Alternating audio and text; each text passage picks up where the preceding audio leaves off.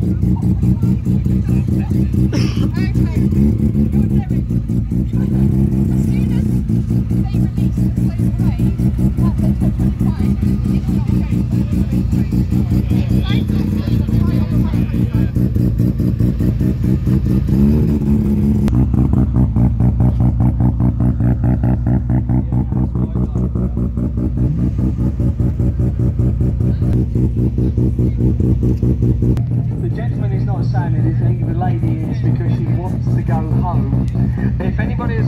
an alternator belt for an Evo 6, I am looking uh, rather down crested and so I of gentleman with basically what looks like a knotted piece of string in front of his hand.